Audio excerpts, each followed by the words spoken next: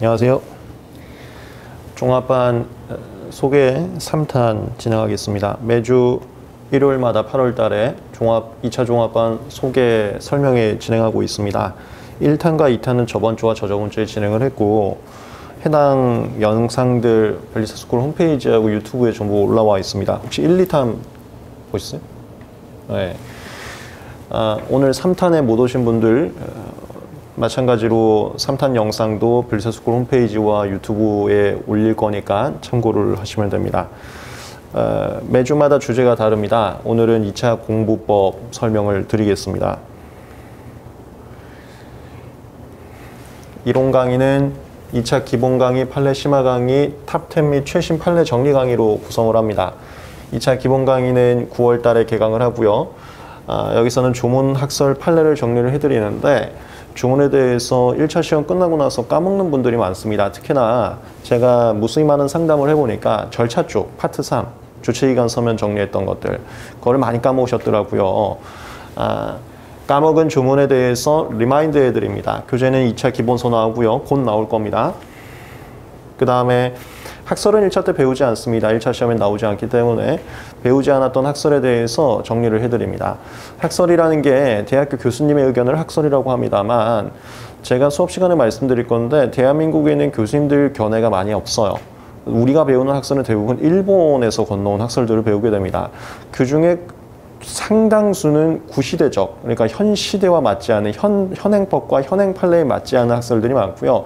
시험 문제 나올 만한 학설들을 소수만 간추렸습니다. 아, 그것만 정리를 해드릴 거예요. 제가 2차 아, 기본 강의나 아니면 제 사례제 핸드북에 집어넣지 않은 학설들은 절대 공부하지 마세요. 그게 학설도 아니고요. 정체불명의 내용이니까요. 1차 때 배우지 않은 학설 소개해 드릴 거고요. 시험 문제 나올 만한 것들만 어, 말씀드립니다. 제가 말씀드리지 않은 기괴한 학설들은 학설이 아니에요. 그거는 절대 공부하면 안 됩니다. 다음 판례.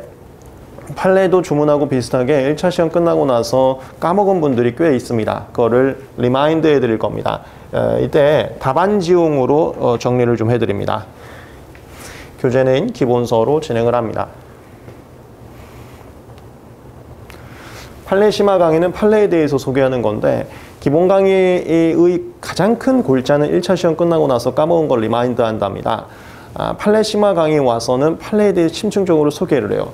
기본 강의에서는 우리 1차 때 했던 판례 밑줄 있지 않습니까? 이런 게 있었다를 다시 remind 하는 거고 어, 심화 강의에서는 최근 기출 문제 추세가 판례의 사안을 그대로 가져오고 있습니다. 예를 들어서 이런 것들은 소재가 좀 자극적인데 민사소송법 깜빵 뭐 최영도 박사님이 정확하게 적중한 거, 상표법, 생리대 다소 민감한 부분들이 그대로 나오고 있는 이유가 최신 판례의 사안을 그대로 출제하는 경향 때문에 그래요. 판례 어, 특허도 마찬가지입니다. 제가 기출문제 해설 강의도 올려놨습니다만 저희 제약 분야 아픽사반하고 다파글리플로진하고 선택 발명 사안들 그게 비단 선택 발명만이 아니고요.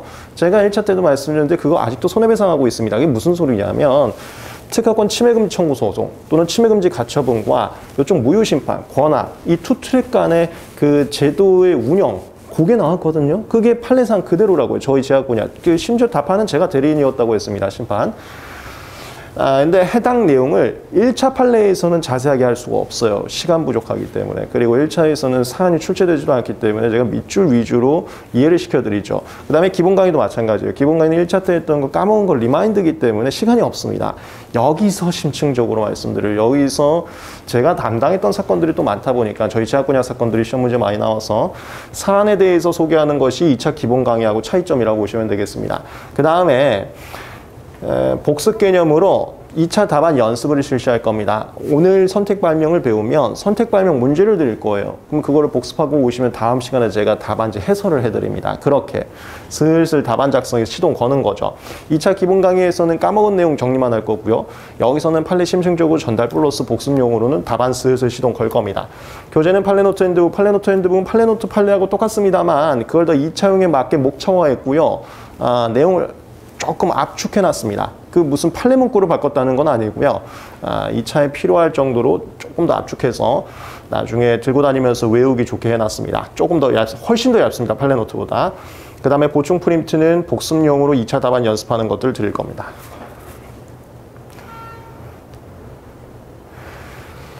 Top10은 6월에 개강합니다. 에... 순서가 기본 강의 9월에 개강하고 강의 10월에 개강하고 그 다음에 11월에 사례 강의 개강하고 이 6월은 내년 6월 얘기하는 겁니다. 2차 시험 들어가기 전에. 음.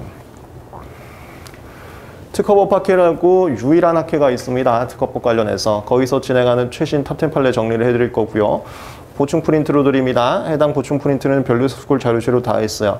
아, 지금 제가 정확히 기억 안 나는데 그동안에 음, 특허법학회에서 진행했던 세미나 자료도 제가 다 올려놨거든요. 그건 음, 안 보셔도 됩니다. 근데 관심 있는 분들은 한번 참고를 하시고 저 인마이제이 독서실 가면은 아, 거기서 나눠준 책자로도 어, 올라가 있으면 보실 분들은 보시면 됩니다. 그 다음에 Top10만 정리하지 않고 최신 판례 같이 정리해드립니다. 이 최신 판례는 올해도 그렇고 작년도 그랬는데 매년 한 문제 이상 기출에 적중하고 있습니다. 정확하게 똑같이 나오고 있어요. 최신 판례 그러니까 한 문제 정도 나온다고 보시면 되겠습니다. 최신 판례는 이, 게 내년에 하는 수업입니다. 내년 것만이 아니고요. 어, 23년 것까지 그러니까 2년치를 정리를 해드릴 거예요. 핵심 판례는 2차 답안지용으로도 정리해 드릴 겁니다. 예를 들어서 올해 같은 경우는 선택 발명이 굉장히 중요했었거든요. 아픽사반 사건과 다파글리플로진 사건이 결론이 달랐습니다. 하나는 선택 발명 유효였고요. 하나는 무효가 됐었습니다. 그런 중요한 것들은 답안지용으로까지도 정리해 드립니다. 그 외에 우리가 많이 봤던 판례들은 아, 충실하게 답안 연습을 했기 때문에 내용 정리만 해드릴 거고요. 교재는 보충 프린트로 진행하고 해당 자료는 전부 자료실에 업로드 할 겁니다. 과거 자료들도 보시고 싶으면 지금 다 업로드 되어 있습니다. 최신 판례 정리는 다시 강조하지만 어, 매년 한 문제 이상 기출을 적중하고 있습니다. 올해도 그랬고요. 작년도 그랬고요. 기출 적중도는 제가 또 다 올려놨습니다. 올해 문제도 전 문제 적중했다는 거 제가 다 올려놨습니다. 여기까지 이런 강의. 1차 때 까먹었던 조문 판례 remind, 그 다음에 1차 때는 배우지 않는 학설에 대해서 간단 소개. 아, 1차 때 배웠던 판례지만, 그리고 2차 기본 강의에서 remind한 판례지만, 아, 이들과 다르게 사안을 조금 더 들여다보는 왜냐하면 그 사안을 그대로 출제하는 경향이 있기 때문에 그리고 아까 말씀은 안 드렸는데 논리 전개 과정도 조금 심층적으로 예를 들어 제가 담당했던 사건이 많았다고 했는데 에, 원고와 피고가 무슨 주장을 했는지 조금 더 심층적으로 말씀을 드릴 거예요. 이런 게 답안지 작성할 때 여러분들이 논리적으로 쓰려고 하시면은 안 되는데 그건 뭔지 답안 연습할 때 말씀드릴 겁니다. 하지만 외울 때 되게 도움이 돼요. 그 논리 전개 과정 한번 들어놓으면 제가 대리인이었던 사건들이 많기 때문에 오류 없이 음, 지금 학원가에 오류가 굉장히 많아요. 특히 제가 담당했던 사건에 대해서 기가 막히게 소개하는 학원가들 자료를 보면 제가 어처구니가 없는데요. 오류 없이 정확하게 전달되는 게 심화라고 보시면 되겠습니다. Top10은 내년에 하고요. 최신 판례와 법학회에서 정리한 판례를 간단히 정리해 드린다. 근데 법학회에서 나온 판례들은 당연히 우리가 판례 심화나 기본 강의나 하면서 다 다뤘던 판례들이 나옵니다. 문제풀이입니다. 2차는 이론 정리보다는 문제풀이가 핵심입니다. 아, 이론 정리는 어떻게 보면은 골자가 1차 때 까먹었던 내용 remind 한다가 메인이고 문제풀이는 사례 강의 기출문제 그리고 GS로 구성이 됩니다. 사례 강의는 12월 달에 개강합니다. 문제풀이 스킬 말씀드립니다. 에, 설문 읽고 정답 찾는 연습과 목차 설정 연습을 위주로 합니다. 사례 강의는 사례제 핸드북으로 할 거고요. 거기 문제하고 정답이 있어요. 답안지. 예, 근데 이 문제 읽고 정답 다 보고 그렇게 안 할 거예요. 제 수업과 제 과정과 제가 여러분들한테 강조하고 싶으신 게 체계화입니다. step별 체계화. 아, 사례 이론 강의에서는 그 답안지 판단 기준, 법과 판례에 쓸 내용들 정리해 드리는 거고요. 사례 강의에서는 거기 써 있는 문장들 있죠. 그 각 목차마다 써 있는 문장들. 여긴 강약 조절할 겁니다. 그거에 대해서는 자세한 설명은 배제할 거고요. 주로 할 게 문제가 이렇게 써 있으면 사실관계가 여기 여기 체크하시고 이 사실관계 어떤 판례에서 보지 않았냐. 우리 판례 심화강에서 봤던 이 판례 기억나지 않냐. 정답 추출 연습 제일 중요하게 먼저 할 겁니다. 문제 읽자마자 정답 찾는 연습 먼저 할 거고요. 그 다음에 목차 설정 연습이 제가 유일하게 학원가에서 만든 공식 저만 만들고 있습니다. JHJ 공식이라고. 그거 연습시켜 드릴 거예요. 이게 올해 기출에서 정말 필요한 부분이었습니다. 올해 기출이 배점이 적었기 때문에 아무런 기준점 없이 아무런 체계 없이 막 쓰면 답안지 이상하게 됐어요. 근데 제 공식에 따라 썼으면 깔끔하게 정리할 수 있었는데 그 목차 제 공식에 따라 설정하는 연습을 어, 해볼 겁니다. 교재는 사례제 핸드북 다시 말씀드립니다. 제 수업의 특징은 체계화입니다. 전문화이고요. 먼저 체계화 관련해서 아, 사례 강의에서는 사례지부 핸드북에 있는 모든 전 내용에 대해서 강약 조절 없이 다 하는 게 아니고요. 정답 찾기와 목차의 강 조절하면서 진행을 할 겁니다. 2차 답안지 JHE 공식 말씀드릴 거고요. 그게 대표적인 게 5점 당 1목차라고 주장창 연습을 할 겁니다. 그 다음에 기출문제 풀이 강의 들어와서는 사리 강의에서 배웠던 어, 정답 찾는 연습과 제 공식 목차 만드는 연습 그대로 적용해 볼 거예요. 에, 제 수업이 체계적이고 제가 그렇게 전문화, 전문성을 갖췄다고 유일하게 강조하는 이유가 모든 기출에 그동안 배웠던 게 전부 적용됩니다. 이런 수업이 제가 알기로는 놀랍게도 어느 군데도 없어요.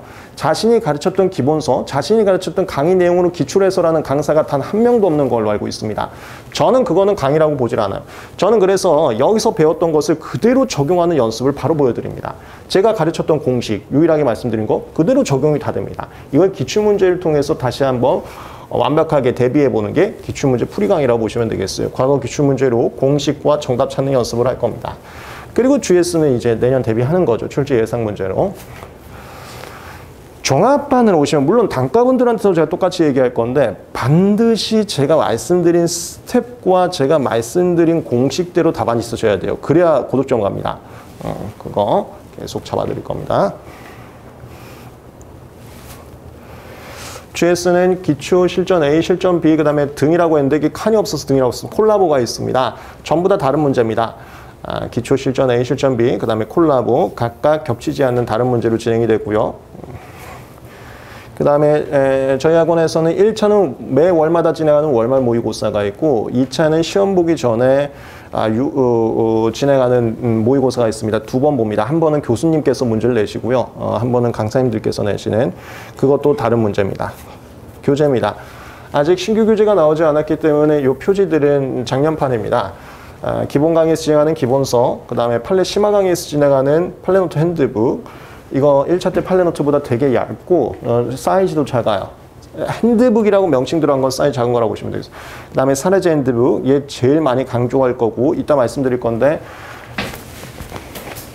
어이, 죄송합니다. 매주 토요일마다 줌 미팅 또 시작합니다. 거기 종합반 단과분들도 웬만하면 필참인데 종합반분들은 반드시 들어오셔야 돼요. 거기서 이거 계속 외울 겁니다. 이것만 다 외우면 고득점이 안 나올 수가 없습니다. 그래서 올해 기출 적중도를 보신 분들은 아시겠지만 일부러 제가 계속 이걸로 적중도를 보여드려요. 요, 요거 계속 강조하고 제가 증명하려고. 작년에도 계속 얘기, 이것만 외우면은 조급점이 안 될 수가 없다고 말씀드렸거든요. 그러니까 일부러 GS 문제로도 적중도 충분히 올릴 수 있는데 얘를 강조하려고 기출 적중도는 좀옛 걸로 올리고 있습니다. 아, 그 다음에 기출 문제집. 음. 기본 소위는 조문과 판례가 요약 정리되어 있고 주요 학설이 소개되어 있습니다. 판례노트 핸드북에는 판례노트보다 암기하기 쉽도록 조금 더 얇게 정리를 해놨고요. 목차화 해놨습니다. 2차 답안지에 적합하도록.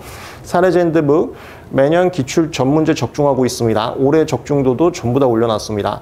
적중도 자료는 변리사스쿨 홈페이지 자료실에도 있습니다. 기출문제집에는 우리 변리사 기출만이 아니라 주요 변호사 기출도 넣어놨습니다. 이 모든 회차가 있지는 않고요. 주요 문제 위주로 올라가 있습니다. 어, 이것도 문제 풀이고 이것도 문제 풀인데 그리고 이 안에도 기출 문제가 좀 들어가 있는데요. 어떻게 운영을 하시냐면 얘를 메인으로 외우시고 얘를 메인으로 정답 찾기와 목차 설정을 외우시고요. 이 기출에 그대로 적용된지 연습해 보시는 거로 보시면 되겠어요. 적용이 된다? 그대로 저만 믿고 가시면 은 반드시 곡점이란 소리죠. 다시 강조드립니다. 여러분들이 기본 강의 배웠어요. 근데 기출 해설이 안 돼요. 판례 강의를 배웠어요. 기출 해설이 안 돼요. 심지어 이 기본 강의란 강사도 이 판례 강의란 강사도 자신의 기본서 교재로 자신의 강의 내용으로 기출 해서는 기출 해서는 전혀 다른 문장이 나오고 있어요. GS 자신의 목차하고 전혀 다른 목차가 나오고 있어요. 그 수업은 들어맞자 내년 기출에도 전혀 도움이 안 된다는 수업입니다. 2차 수업을 들으실 때는요. 이거 반드시 고민하시기 바랍니다. 그 강사가 해오던 그 자료 내용과 그 문장과 강의 스타일로 기출을 해설하고 있느냐가 정말 당연히 필요한 건데도 그게 단 한 강의도 안 되고 있을 겁니다. 이거 꼭 보셔야 됩니다. 그래서 다시 강조합니다. 여기서 배우는 정답 찾기와 목차 연습으로 이거 연습용으로 얘 다시 한번 꼭 보세요. 잘 되는지. 그럼 자신감 갖고 유지하시면 됩니다. 공부법입니다. 공부는 체계가 있어야 돼. 이건 비단 공부 얘기만이 아닙니다. 인생을 살던가 뭘 하던가 제가 강조하는 게 목적의식이 있어야 되는 것과 체계화가 돼 있어야 됩니다. 그렇지 않으면 1년을 썼습니다. 2년을 썼습니다. 3년을 썼습니다. 결과물이 3년간 돼도 오히려 더 떨어져요. 이게 체계가 없다는 소리예요. 체계를 갖고 가면 1년 때 이만큼, 2년 때 이만큼, 3년 때 이만큼 더 올라가는 거죠. 체계, 아무리 강조해도 지나침이 없습니다. 공부 순서는 무조건 이렇게 해야 됩니다. 아, 단가 수업도 그렇고 종합반 수업도 그렇고 무조건 이렇게 어, 따라오세요. 절대 흔들리면 안 됩니다. 첫 번째는 뭘 주구장창 외우고 있으면 안 됩니다. 반드시 이거 먼저 해야 됩니다. 자꾸 말도 안 되는 그 내용들로 두 문자 따서 무작정 암기만 하고 있는데 그것도 기본서 암기인데 그거대로 기출 해설도 안 하는 강사의 그 기본서를 암기하고 있어요. 그거 어떻게 기출을 작성할 겁니까? 강사조차도 그 주구장창 여러분들이 외운 내용으로 해설지를 안 올리는데 기출 해설지를 난 정말 깜짝 놀라고 있어요. 이거 절대 안 됩니다. 암기만 하고 있으면 첫 번째 정답 찾으세요. 문제 읽고 여기서 사실관계 이거 이거 이거 체크하면 이 판례 쓰는 거구나. 여기서 이 사실관계 이거 이거 읽으면 이건 조문 쓰는 거구나. 가끔 조문 문제도 기출됩니다. 여기서 사실관계 이거 이거 읽을 때는 아 가끔 판례 문제, 학설 문제도 나오는 거. 학설 문제는 거의 나오지 않는데 정답 찾기가 자신 있어야 됩니다. 9월 달에는 저랑 기본 강의하면서 1차 때 까먹은 거 조문과 판례를 remind 할 건데 제가 계속 주말마다 사례제 핸드북 Zoom, Zoom, 어, 줌 미팅 스터디를 할 거예요. 거기 들어오시면 사례제 핸드북 계속 보고 계셔야 되고 문제 읽고 정답 찾고 문제 읽고 정답 찾고 사례제 핸드북 문제 읽고 정답 찾고 문제 읽고 정답 찾고 이거 적어도 두 2회독 이상 돼야 된다. 9월이나 10월까지. 정답하고 정답만 보란 소리예요. 사례제 핸드북 중. 다른 문장 보지도 말고. 얘가 너무 익숙해졌어.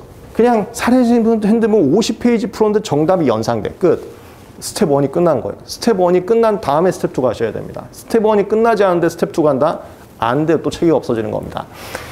스텝 1이 끝났습니다. 어떤 징조해야지 끝났다는 건 수업 시간 하면서 계속 말씀드리겠습니다. 그 다음에 스텝 2 가는 거예요. 이번에는 어, 얘는 문제풀이 강의부터 말씀드리는 건데 아니면은 맛보기 보는 건 판례 심화 강의부터 맛보기를 봅니다. 2차 기본 강의에서는 안 해요.